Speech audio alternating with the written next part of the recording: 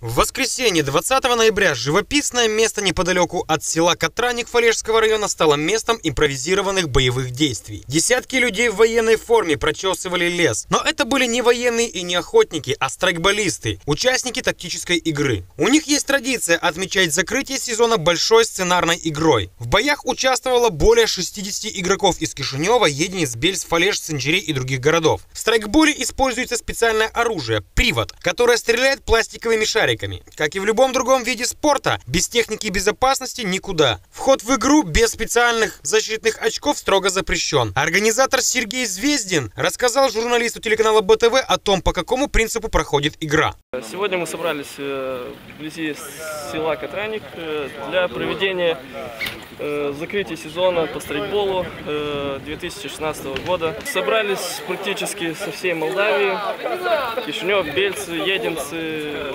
Валешты, Санжиреи, около 50 человек. Сегодня будет проводиться игра по сценарию, будет закладывание бомбы на определенных точках, удерживание точек, Соответственно, противоположная команда должна быть всякими возможными и невозможными средствами Э, не дать этого противнику сделать. Будем надеяться, что будет э, очень интересно, захватывающе и запомнится всем и надолго. Задачи перед игроками ставились следующие. Команда красных должна установить специальную бомбу в трех местах, обозначенных на карте. Задача синих не дать им это сделать.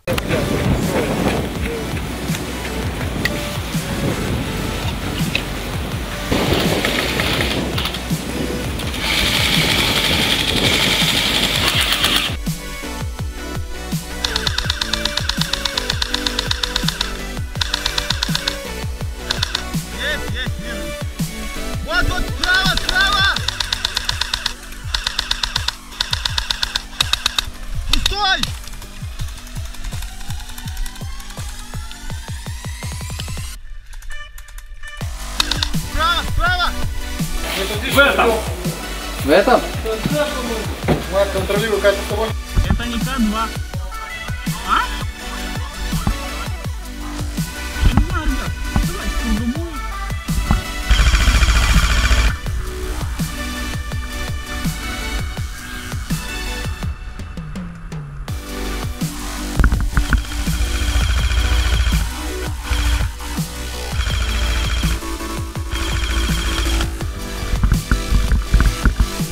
Ребята продумывают свои образы до мелочей. Форма, бронежилеты, рации, оружие, шлемы и другие детали. Стоимость амуниции некоторых игроков доходит до 2000 долларов. Каждое новое приобретение, будь то ботинки или прицел, в той или иной мере помогает при выполнении миссии в игре.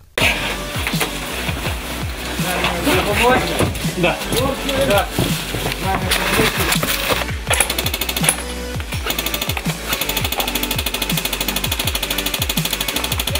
Двое вот Вова кроет оттуда, я отсюда. Они двое там на углу.